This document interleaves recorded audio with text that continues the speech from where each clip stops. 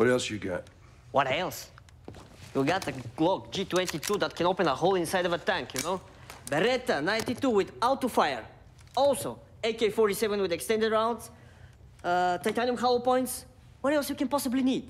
How about some night vision optics, some stun grenades, C4, Are you going to fight a fucking army? and some remote bomb triggers? Whatever.